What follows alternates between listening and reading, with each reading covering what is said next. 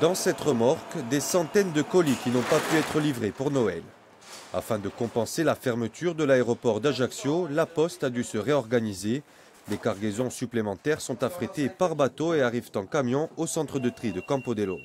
Seule la Corse du Sud est concernée par ce système, un dépannage par remorque très difficile à mettre en place et faisant perdre beaucoup de temps. On met 30 minutes pour la, décharger.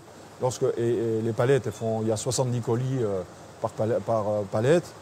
Et quand on reçoit l'avion, on a dans les containers entre 450 et 500 colis qui sont traités en même temps. Et surtout, au niveau de la, qualité de, service, les, colis qui sont traités euh, par l'avion sont distribués le jour même par les facteurs.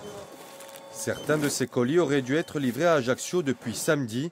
Toutefois, la Poste l'affirme, 100% des paquets arrivés en Corse du Sud le 24 décembre ont été distribués à temps. Pour cela, il a fallu mettre les bouchées doubles.